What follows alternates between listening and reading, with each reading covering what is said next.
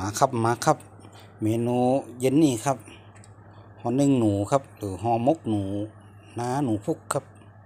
นี่ครับเตรียมเครื่องครับพริกแกงครับพักต่างๆครับแล้วก็ข้าวคั่วครับ แล้วก็หนูพุกครับซับเป็นชิ้นๆเรียบร้อยแล้วครับผัดพริกกันครับน้ำมันลงผัดพริกให้หอมครับพริกแกงผัดให้หอมเลยครับผัดเรื่อยๆครับพริกแกงหอมแล้วก็เดี๋ยวเอาหนูลงครับ หนูที่เขาหั่นไว้แล้วครับ พัดครับ พัดให้หอมครับ ซุปประมาณหนึ่งครับประมาณยี่สิบเปอร์เซ็นต์ครับ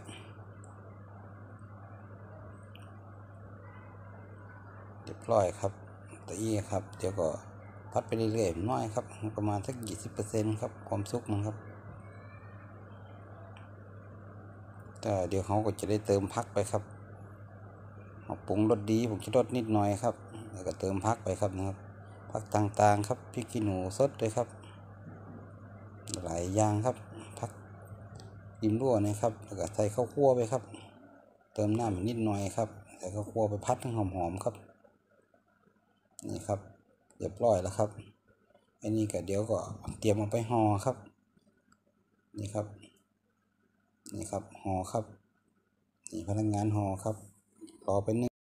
ครับเอามานึ่งต่อครับประมาณหนึ่งชั่วโมงครับ หนึ่งหนึ่งชั่วโมงก็สุกพอดีครับเรียบร้อยครับ นี่ครับหน้าตาครับแกะออกมาครับ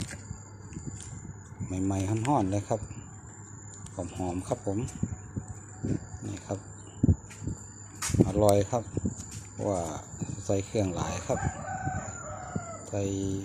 คั่วพริกแกงหอมๆแล้วครับนี่ครับก็ข้าวคั่วจะหลายนักน้อยครับข้าวคั่วนักน้อยครับอร่อยครับ นี่นะครับเดี๋ยวจิ้มกับตะหอกันครับ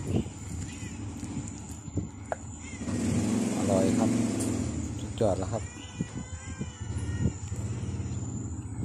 เข้าเมือง